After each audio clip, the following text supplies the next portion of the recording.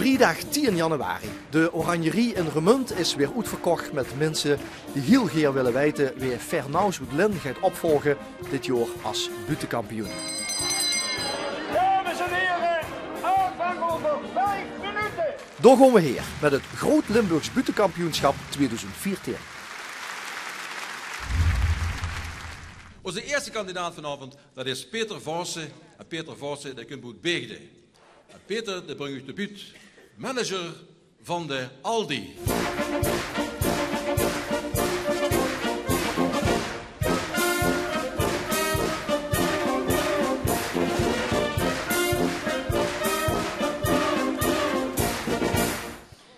En manager te werden van de Aldi hebben gezworen gesprek gehad. Gewoon bij de directeur ben ik zeg, herkent Geren een goede manager op het eerste gezicht? Of moet ik nog een keer binnenkomen? Hij zegt, wij een toe. Ik zeg, ik ben Albert Heijn. Albert Heijn zegt, ik zeg, ho, ik ben niet van de supermarkt. Hij zei, dan waarom denk je dat ik dich moet aannemen? Ik zeg, klinkt natuurlijk niet geweldig in de oren als Geer kan zeggen, ik ben manager, baas van de Aldi en Albert Heijn werkt voor mij.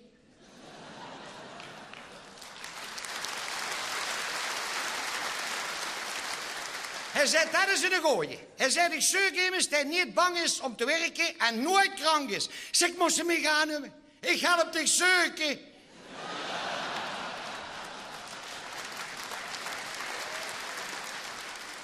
Hij zegt, heb ze ervaring met de Aldi? Ik zeg, jaren geleden kom ik met vijf gulden naar binnen. Ik ging naar boete met drie kratten beer, vier pakjes sigaretten, twee liter melk en tien broodjes. Dat kan tegenwoordig niet meer, hè? Met allemaal die camera's.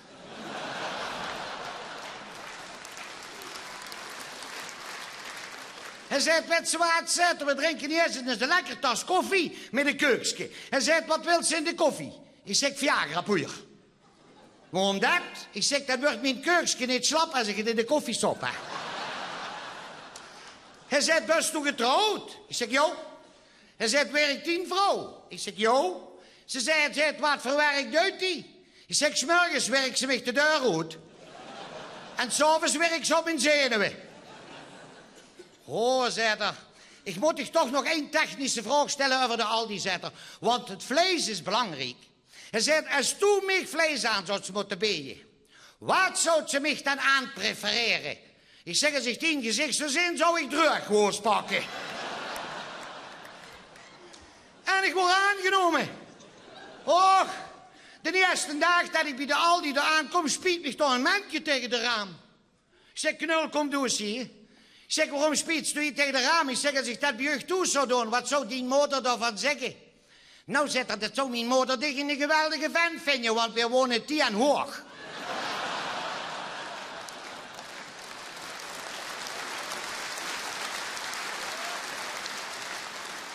Een paar weken later stond ik door de raam te kijken. Gauw neer in de gaten dat de baas achter me stond en zuurde dicht dat. Ik zeg, ik weet waarom dat Nederland naar de knoppen gaat.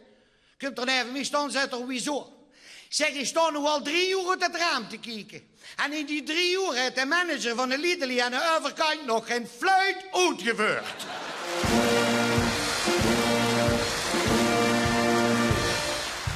En dan gaan we hier met onze tweede kandidaat voor vanavond. En dat is Ton Donders uit Weert. En Ton, die brengt ons de buurt. Oje hippie.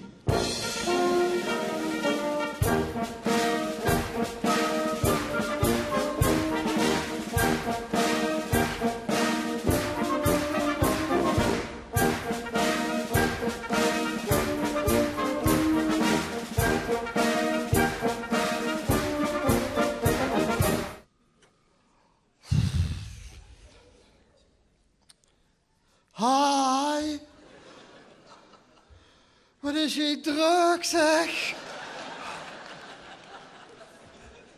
Was net zo druk als op het eerste Pinkpopfestival. Ja, dan zijn we toen met de hele commune naartoe geweest. Ja, ik woonde toen in een commune, hè.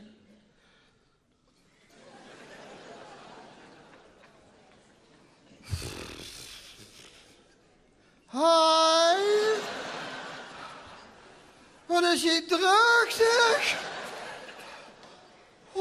zo druk als op het eerste Pinkpop-festival. Ja, dan zijn we toen met de hele commune naartoe geweest. Ja, ik woonde toen in een commune. Dan woon ik in een bejaardenhuis. Ja, de eerste dag dat ik op mijn kamer zat, kwam de zuster en zei, hi, happy toen. Ik zeg, peace man. Ja, zag zich, man je dat roken weer. Ik ben ik.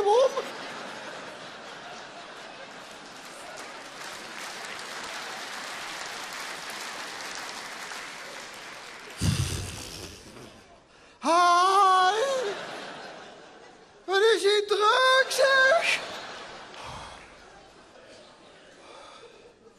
Ja, toen zit de in het bejaardenhuis tegen mij. Wat hij in de hoorschoen zitten. Zeg jij dat dit mijn achteren heeft gedaan? De huispakken glitterboy. De stylist van het zuiden. Roy Donders.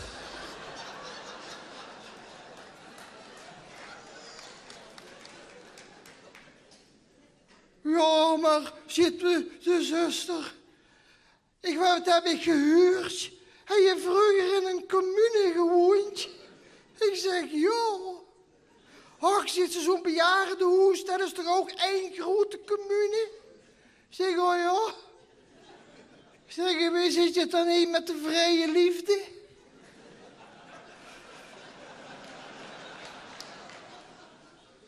Vrije liefde maakt me een beetje.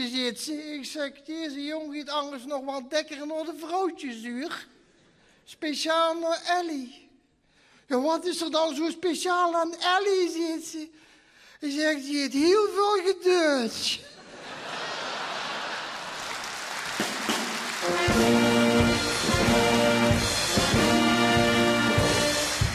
Gaan verder met nummer drie van deze avond. Dat is Sylvia Ramakers uit Kadier en Keer. En Sylvia brengt ons debuut de Ouw Vrijster.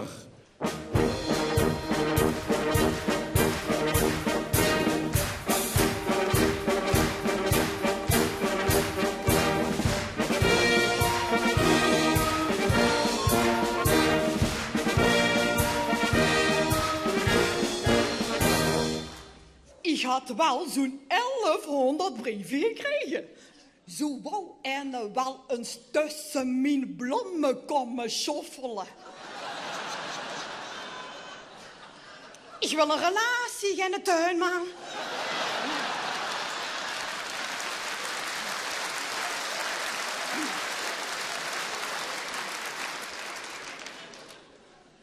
En er was ook een, die wou mij wel eens 50 tinten gries komen demonstreren. Die was nog onnuzelig. Ik wil toch een relatie en een schilder. Die snappen het niet, hè? Dat schreef ook een van 73. Die wou zijn pieringske wel eens even komen uitgroeien. Musseltjes proberen te vangen. En als ik jet vis vind, dan zien dat mosselen. Verrast mich daar met een postjeskampies. Maar het zien niet alleen maar oude die schrijven nu. Ik krijg ook brieven van jonge mannen. En jonglui, die zien veel directer, to the point. Dat is Engels. Die zijn recht van zijn raam, die gewoon graag op het doel af, die schrikken vertrekt, die zijn ongeremd. Zo schreef Erne in zijn brief dat hij eens een gooi beurt wou. Ik dacht, poepoe, poepoe, poepoe, poepoe. Ik, ik denk, maar die kom ik niet weg.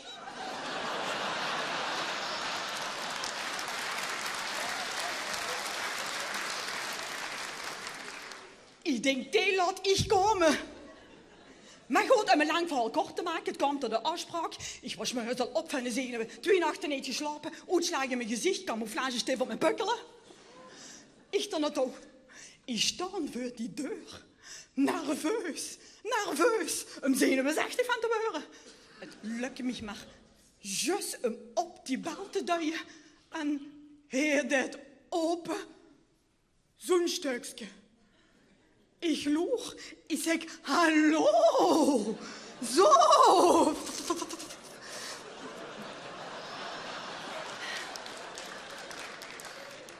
Hij kijkt me aan en hij vroeg, komt ze voor de beurt? en ik, dan kom er achter me aan. En ik, oké. En toen duwde hij mij in het dwel en een emmer met een fles allesreiniger in de hand.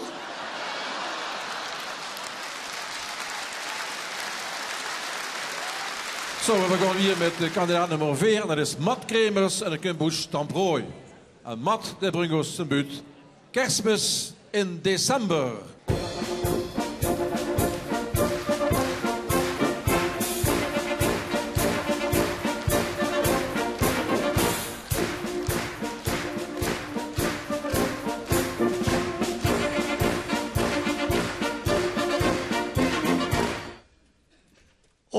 Mam, mam zag altijd, met, met kerstmis gaan we hier samen zingen.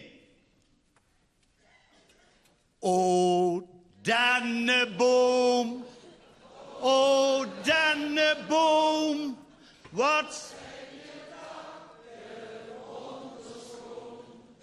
Een vangboom moet gezocht, je boom in de kroeker gegooid. Kroeker te klein. De boom weer uit de kroeker. Met de vrouw met de kroeker die helemaal op even staan. De auto gepakt. Terug naar de boomfokker. Klap opgemaakt. Boom in een auto gedoet. Ging er neer. Boom weer uit de auto. Zittingen plat gelacht. Boom erin, klap toe. Hier ging er erin. De boomfokker betaalt, ik stap in. De vrouw wil ook instappen.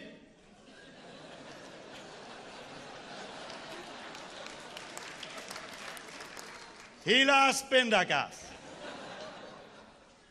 Dat had je moeten zien wie wij toeskomen. Steen kapot was die. Wie die van een trek ook afhalen? Ja, en toen moest de boom naar binnen. Televisie aan de kant. Boom neergezet. Schoon, hè? Nee, dat heet de vrouw niet, Johan. Boom aan de kant, televisie terug op een plaats, schemerlam aan de kant, boom neergezet. Johan, hè? Nee, nee, Johan. Boom aan de kant, schemerlam op een plaats, bangstel aan de kant, boom neergezet. Johan, hè? Nee, nee, Johan. S'avonds om vier uur hebben we alle uit van de kamer gehad. En daar stond er. Waar eerst een televisie nog stond.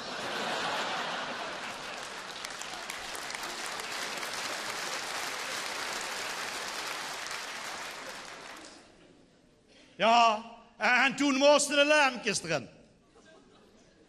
En hier zijn die dingen in zo'n heen. En heb ze zijn heen.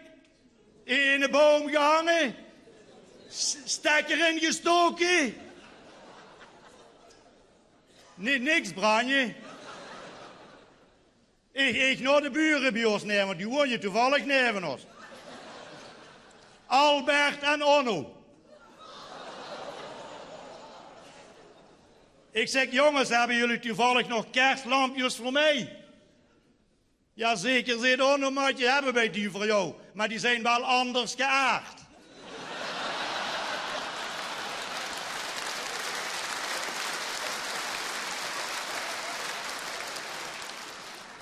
Ah, ik zeg, daar geef ik geen flikker om.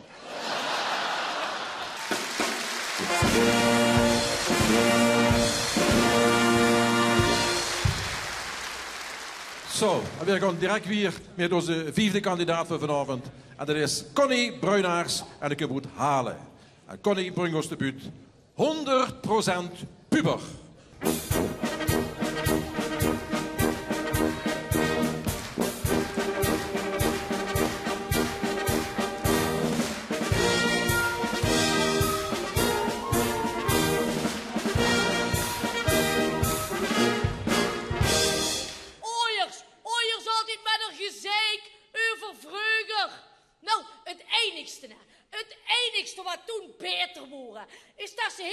Zalen gewoon lekker kostjes roken.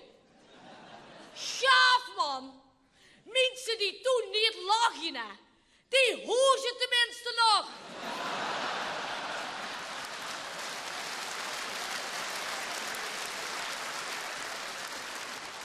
Maar voor een gastvreugde, daarom, daarom vind ik geschiedenis ook zo'n shitvak.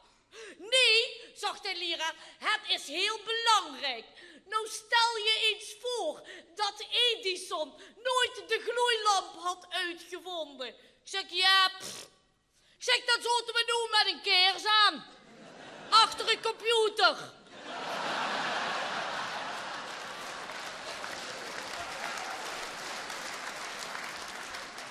Leraren. Er is trouwens maar één toffe koele bij ons op school. En dat is de leraar van gym. Die lijkt trouwens sprekend, ja. Maar dan ook sprekend op de zanger van Simply Red. Nee, hij is niet roerend, maar simpel. Ja, zachte, ik heb een Scandinavische vriendin. Ik zeg Zweedse. Soms zachter onder de armen.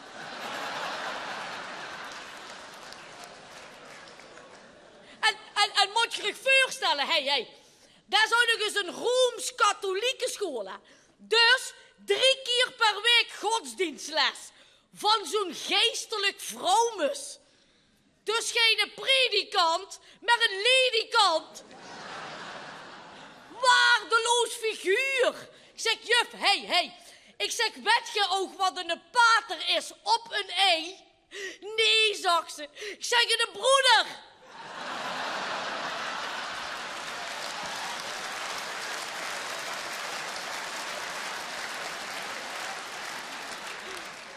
Ik kan daar niet mee zag. Nee, logisch niet. Hey, hey, die komt uit zo'n nonnenklooster, uit zo'n uh, hunkerbunker. Zusters van het zedelijk lichaam. Nou, nou vorige week heeft hij zich de godschanselijke lessen onder dat habit zitten te kratsen. Ja, ze was non-actief. Ik zeg, juf, hey. Hey. Ik zeg, heeft u soms schaamluis? Wat een taalgebruik. Ik heb alleen een relatie met de Heer. Ik zeg, oh, ik zeg, dat, uh, dat zit lieve eerstbeestjes.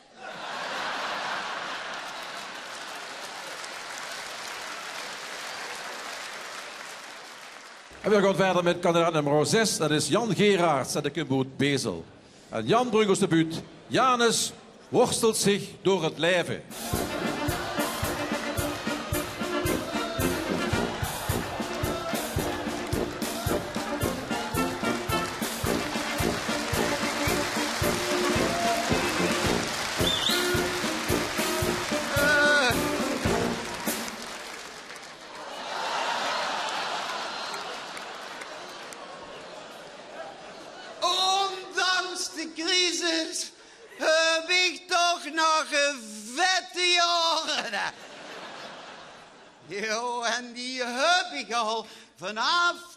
Op de wereld kwam. wa- Want die gewoon een enorme joekelig zonnekop hadden. Ons mama die, die heeft moeten wachten totdat ze 46 centimeter ontsloten. Ja. Bleef ik nacht met de oren hangen. Hè.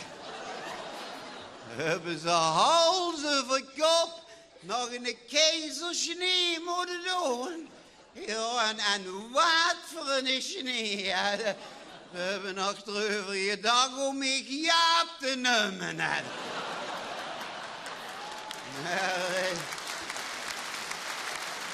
Maar, bij mijn tweelingbroer ging het een stuk gemakkelijker. Jo, die hou geen oren meer. Die je met een baarmoeder al van de kop gelabberd. hè.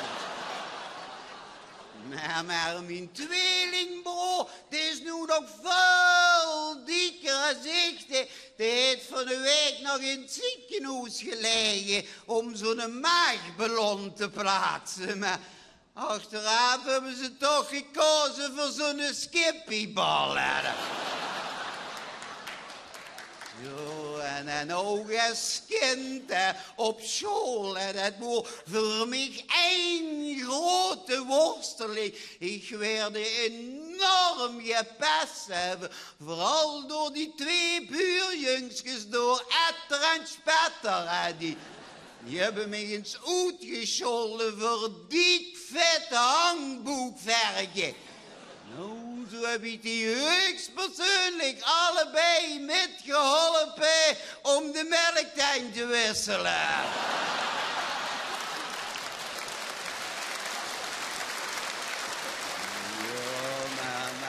Maar, tegenwoordig trek ik het me nimmer zo erg aan. Want deze dag kwam ik de buurvrouw nog steken met, met haar nieuwe hondje. Die heeft nu zo'n kruising tussen een reu en een teven. En wie den hond mij zoog, die begon te blaffen. De jonkeren, die trok aan de rem. Ik zeg, waarom jij den hond toch zo tekeer? Ja, zegt ze, die is gek op pants. Zegt ze, maar wie zuust ook troet, kerel? Du moet eens aan sport gaan doen. Nemen ze voorbeeld aan mijn man. En als hij s'avonds toeskomt van het werk, dan gaat hij nog 24 kilometer rennen. Ja, ik zeg, als ik s'avonds toeskom van het werk en doe dit de deur open.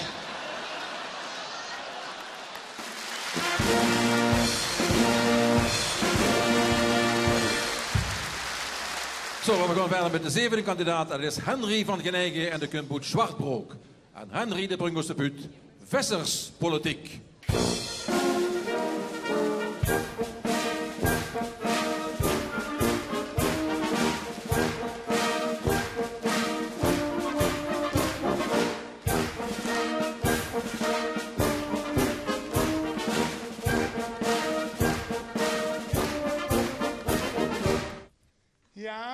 noodbaasje. Als woon ik bij Stichtermine. Zelfs zo'n hiering. Die heeft al van die politieke trekjes. Glaad en een luchtje aan.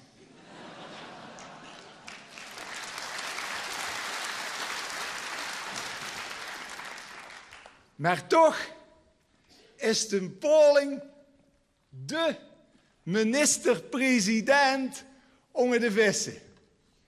Hier ook geen ruggengraat. Op ene zalm nou. Kunt ze de vis wel vertrouwen. Want vis is, zo gaat het enigste hoe ze nog geen peersvlees in hebben gevonden.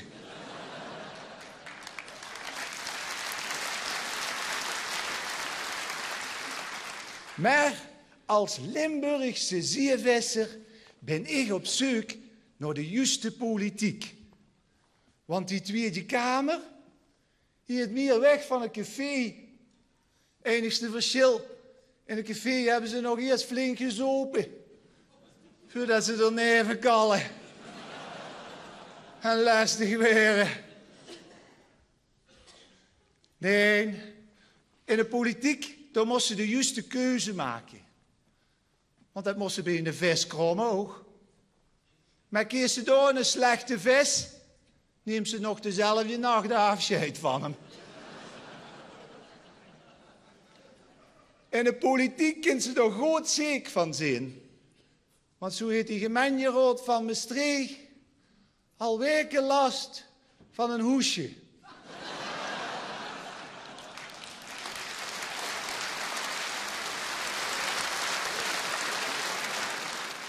Hier moet de kampioenen zitten. We gaan het nu maken. De kampioen met 86 punten van 2014 is geworden. Eindelijk hebben ze gewonnen de Oudfeestver. Sylvia.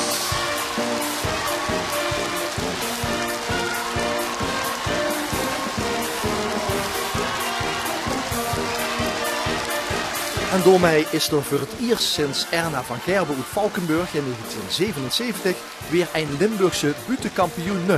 Sylvia Ramakers uit Kadierenkeer. Wie zoeit de butenkampioenschappen van 2014 van de LVKA? Wies volgend jaar.